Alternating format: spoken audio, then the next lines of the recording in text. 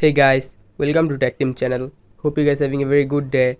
Today in this video, I'm gonna show you how can you scan Telegram QR code on mobile. So at first, just go to Telegram. Now click in the top uh, left three dash icon. Now here you can see in the bottom third option settings. Click on it Now without scrolling, here you can see in the last option devices, click on it.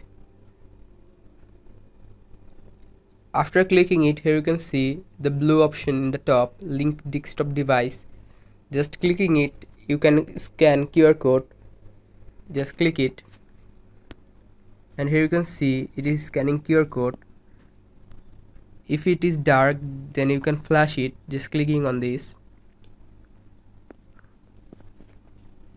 So guys this is how can you scan QR code in telegram. Hope you find this video helpful. If you find this video helpful then give a thumbs up and don't forget to subscribe to the channel. Thank you so much for watching the video